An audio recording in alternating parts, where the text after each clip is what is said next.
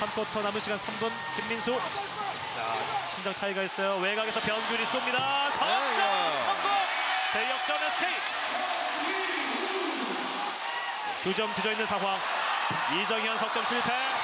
리바운드 메이스. 직접 하프코트 건너왔어요. SK는 안영준도 함께 투입됐습니다.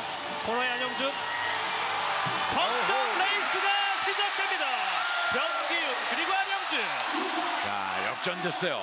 2주간의 휴식을 취한 SK가 이제는 넉점 차로 앞서갑니다 자, 이제 하승진 선수가 들어왔을 예. 때는 상대 숙공에 김경 감독을 춤추게 만드는군요 네. 아, 에민 드리블 쇼를 이어갑니다. 아, 다시 너무 밀고 긴데. 말이죠. 두점 빗나가요. 그렇죠. 리바운드 메이스. 신명의 스틸 시도 이겨낸 안영준입니다. 3대 아웃 넘버 번호점으로 화이트.